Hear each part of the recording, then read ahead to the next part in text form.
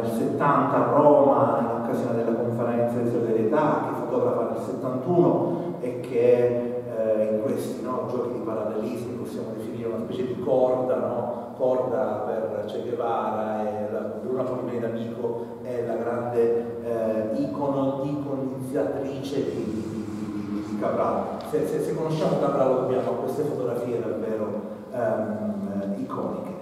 Dobbiamo salutare, dobbiamo ringraziare Clara, Marco, Filomeno per questi libri che arricchiscono eh, la bibliografia critica di Cabral eh, in italiano, ci restituiscono eh, un, Cabral eh, multiforme, sfaccettato, abbiamo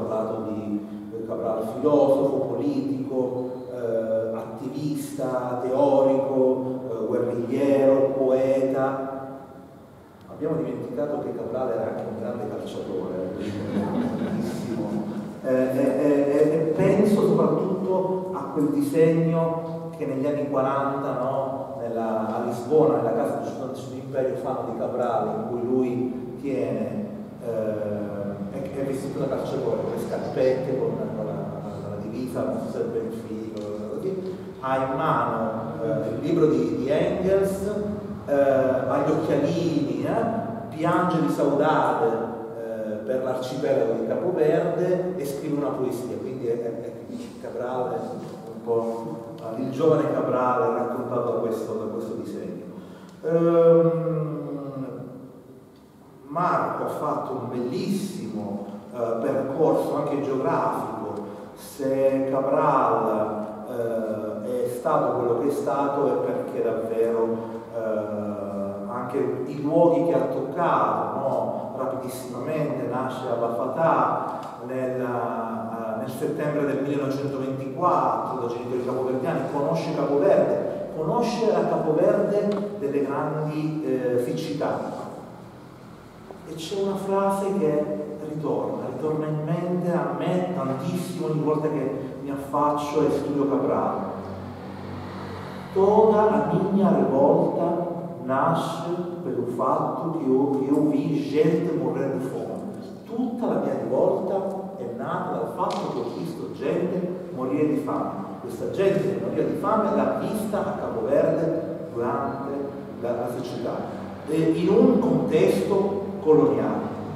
Quel contesto coloniale che Cabral conosce, Lisbona, facoltà di agronomia, di studi, la presa di coscienza politica, l'antifascismo imparato no, con eh, i colleghi della Casa del Sud dell'Imperio, con i portoghesi, con oppositori giovani, oppositori portoghesi.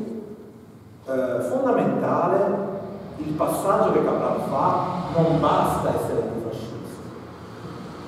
Grandissimo insegnamento al tempo presente, non basta essere bisogna essere anticolonialisti, non basta l'antifascismo. Voi combattete perché cada Salazar, lo Stato Nuovo, noi combattiamo perché cada il colonialismo portoghese. Noi non siamo contro il popolo portoghese, noi combattiamo per abbattere il sistema coloniale portoghese. Il sistema coloniale portoghese che conosce bene agronomo, conosce l'Alentejo, posto dei latifondi, va a fare il censimento, va a fare i censimenti in in Guinea-Bissau, a Capoverde e in Angola.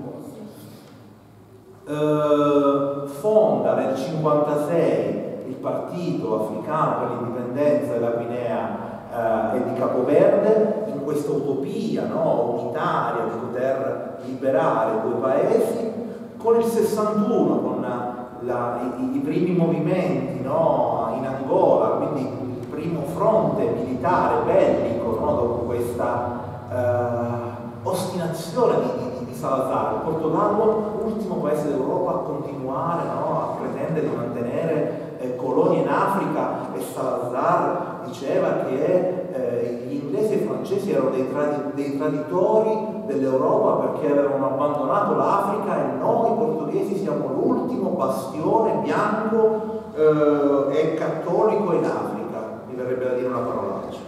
Ehm, ma in questa ostinazione c'è quindi qualcuno che deve prendere le, le, le armi in Angola nel 61, nel 63 in Guinea-Bissau nel 64 in, uh, in, in Mozambico. Uh, I libri di Filomeno, quello di Filomeno è una specie di, di summa, di, di, summa del sapere di, di questi anni, no? uh, diviso in quattro parti,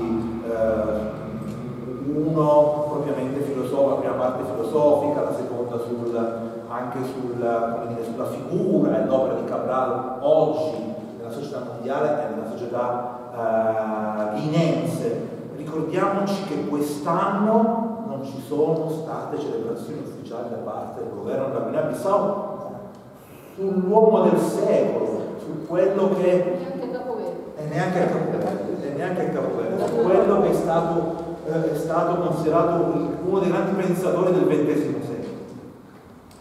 Eh, il libro di, il libro di, di eh, Marco e di Clara eh, ci parlano di un Cabral eh, educatore, di un Cabral che capisce tante cose, si parte dall'educazione eh, dei ragazzini, ma non solo dei ragazzini, si parte dall'educazione di base. Ma si chiede Cabral, ma io com'è che convinco il semi-analfabeto o analfabeta contadino della Guinea-Bissau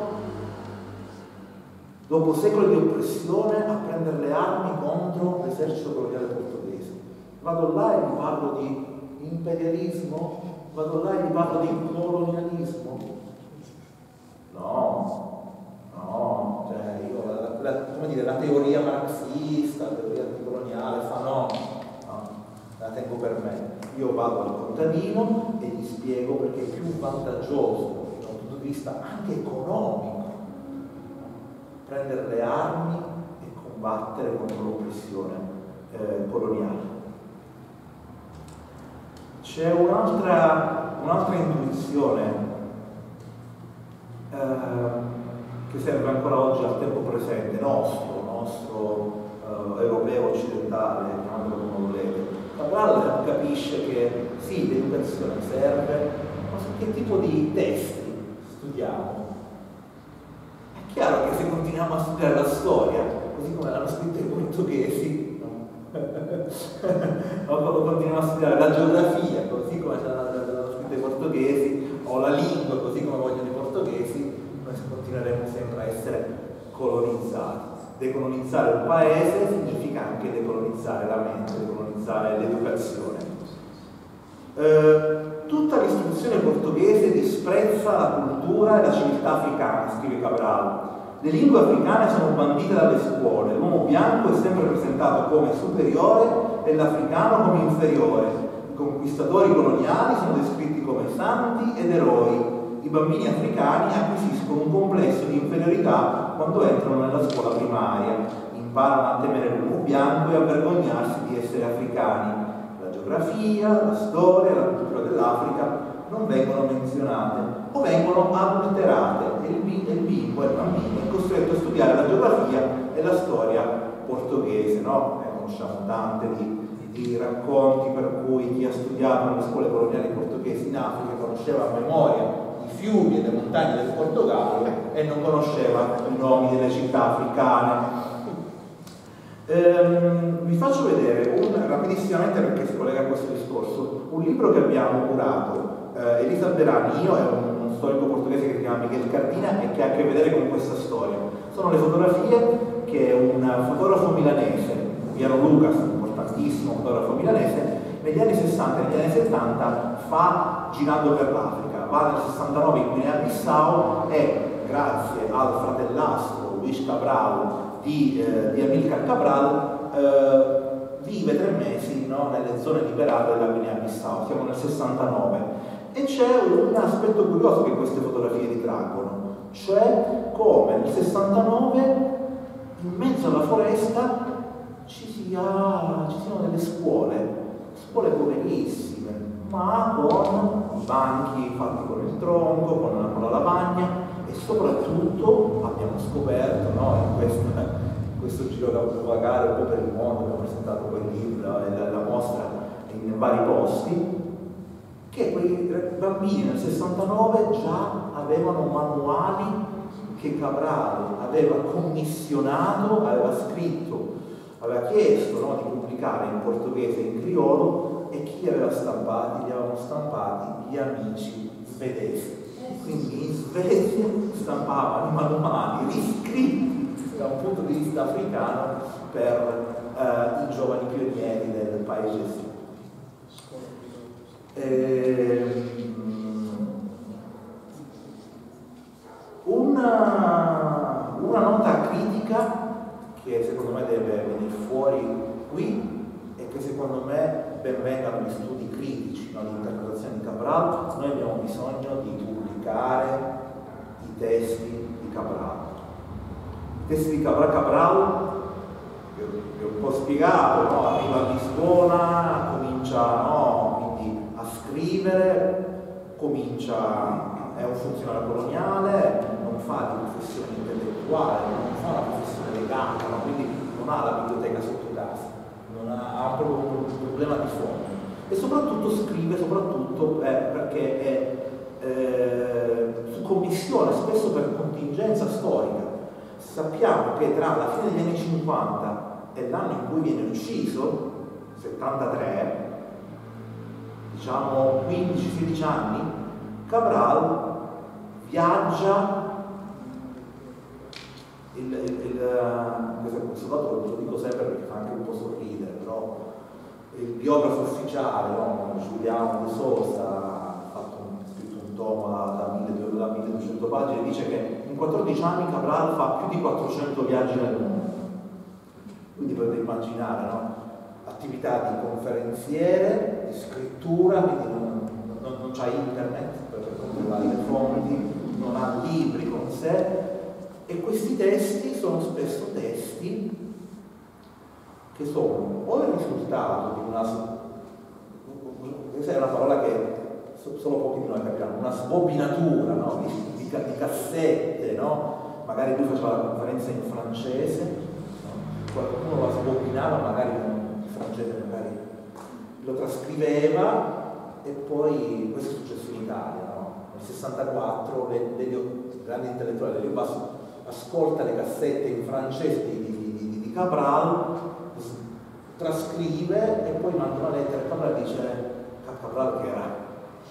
Mezzo alla guerriglia dice allora caro, caro il testo è in francese. Va, va bene? No, eh, Cabral eh, come dire, non aveva, cioè, in quel momento, come dire, non era proprio l'occupazione maggiore quella della revisione delle bozze.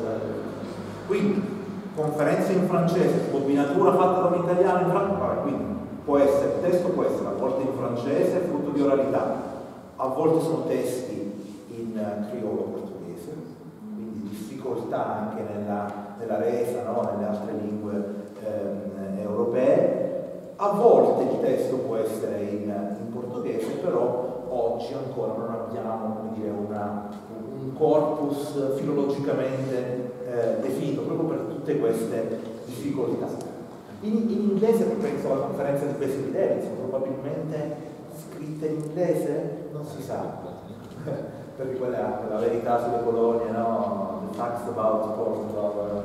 Uh, Collins, no? la verità sulle colonie portoghesi, no? la famosa conferenza tenuta grazie a Basil Davidson a Londra nel 60. Quindi questo è, un problema che bisognerebbe eh, risolvere. Poi ovviamente, come ha detto la mia collega di Salberani, le traduzioni in Italia le traduzioni anche ehm, nelle, altre, nelle, altre, lingue. Eh, concludo la, la, la, mia, la, mia, comunicazione eh, ricordando come eh, proprio la difficoltà di cui parlava Alessia di Eugenio di incasellare da un punto di vista ideologico, politico, eh, filosofico eh, Cabral.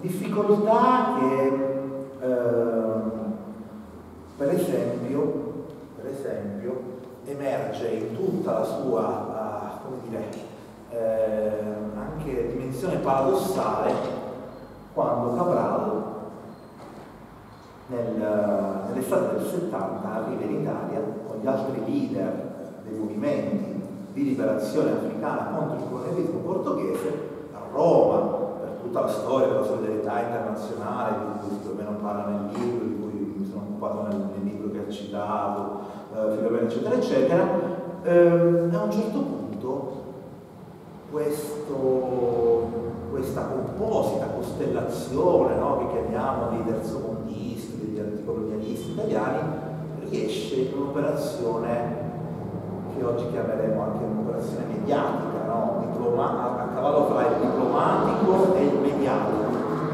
I tre leader dei tre movimenti africani, angolano, mozambicano e, e della Guinea-Bissau, vengono ricevuti dal Papa, dal Papa Paolo VI. Operazione diplomatica, mediatica che va a buon fine provocando grande scandalo nel, nel cattolicissimo Portogallo, il Portogallo di, eh, eh, di, a quel punto di Marcello Gaetano, tra l'altro c'è una coincidenza stranissima perché a luglio, primo luglio c'è l'incontro fra i tre leader a Roma e Papa Paolo VI, 27 giorni dopo finalmente muore Salazar che però era già caduto nel 68, aveva sbattuto la testa, era stato ricoverato in coma, eccetera, eccetera. Eh, in Portogallo si incavolano tantissimo, eh, ma la straordinaria capacità geopolitica forse di, di Cabral viene fuori nella, nella sua, eh, finisco con quest'ultima citazione, nella conferenza stampa che a Roma viene organizzata da Marcella Glisenti, che questa, oggi la definiremo intellettuale cattocomunista, perché era vicino agli ambienti del Vaticano, è lei che scrive. Era democristiano. Eh? Era democristiano. Eh, eh, tecnicamente era sinistra del cristiano. Sì, sì, però democristiano. Allora, c'è questa, era, era editrice, era eh, grazie, Cristina, Cristina Ercolessi è il nostro riferimento, la nostra maestra storica dell'Africa. Quei democristiani devo dire che piaggiamo. È nella libreria che, che a Roma eh, si chiamava Libreria dei Paesi Nuovi oggi mi dicono i colleghi, cioè dottor De Marchi dice che c'è una farmacia, bisognerebbe andare lì a mettere una, una, una, una Vabbè, c'è questa conferenza stampa, il giorno dopo l'audienza papale, eh, e ci sono Marcellino dos Santos e Cabral, però ovviamente Cabral è il mattatore, perché ovviamente col francese, insomma, e, e lì sbaraglia tutti, sbaraglia anche tutti i giornalisti italiani, no? invitati, i giornalisti italiani c'è sempre quell'opinione che vuole mettere in difficoltà. E c'è la giornalista che dice, facciamo nomi e cognomi, la giornalista si chiama Magalì von Brentano, probabilmente scriveva per il tempo, quindi in un giornale un po'. Cabral, vorrei farle una domanda. Non pensate che l'aiuto massiccio che vi viene dato dai paesi socialisti, cioè dall'URSS e dalla Cina, presenti un vero pericolo per la vostra autonomia? Voi che lottate per l'indipendenza e la libertà, non avete paura con quell'aiuto massiccio che naturalmente non è del tutto altruista di cadere da una dipendenza quella dal colonialismo portoghese, a un'altra dipendenza dai paesi socialisti? Risposta di Cabral. Vorrei dire quanto segue. Prima di tutto, questo aiuto non è così massiccio come lei, signora, ha insistentemente affermato, dato che sta a noi decidere la sua entità. Purtroppo non è tanto massiccio ci sono certi paesi socialisti che non ci hanno mai aiutato e ce ne sono altri che hanno cominciato ad aiutarci e poi hanno sospeso gli aiuti. Ma in secondo luogo, guardi, il Portogallo riceve aiuti, molti aiuti dalla Germania federale, dall'America, dalla Francia, eccetera, eccetera. Resterà una colonia di questi paesi? e a far loro, evidentemente. Fronte a noi il solo tipo di aiuto che ammettiamo è questo. Il nostro popolo ha bisogno di liberarsi.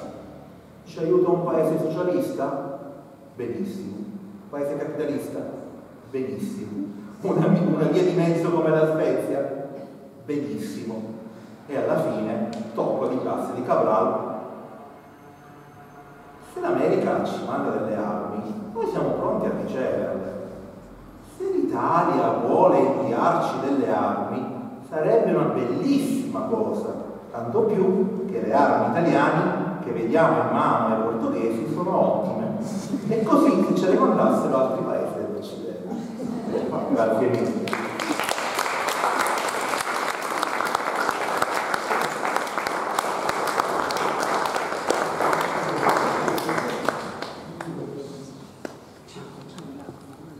Forse vista allora possiamo andare a, a domande o curiosità o... La biografia di Marcella Crisenti. È abbastanza grande per giocare. Ma posso dire una cosa? No, ma altro cosa? C'è spazio, no? Certo, No, io lo vorrei, cioè, intanto ringrazio molto, veramente siamo tutti molto così, anche emotivamente coinvolti.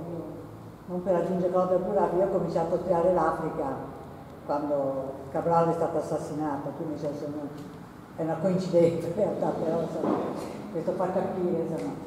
Però proprio per questo, 50 anni dopo, io ho due questioni che mi arrovellano e che sono uscite anche dalla presentazione di Clara e Filomeno che ringrazio molto per questo.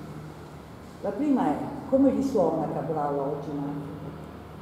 Tu giustamente ricordavi, cosa che anche a me risultava da racconti di amici, che non si sta celebrando in Africa da nessuna parte e neppure ufficialmente attualmente il tema. Il Guinea-Bissau è capoverde. Eh, allora, il mio rovello qual è? 600-700 milioni di ragazzi africani, bambini, ragazzi, adolescenti, giovani africani, 800 milioni, non so se però sono la stragrande maggioranza dell'Africa. Che significa Cabral per loro oggi? Cioè che vuol dire che significa Cabral oggi per l'Africa, no? Prima questione. E la seconda che è abbastanza collegata anche a quanto diceva Filomeno, eh, c'è una grande revival di studi politologici, filosofici, di teoria politica, di, di storia anche sul, sul nazionalismo, no? cioè, su, su, c'è un libro per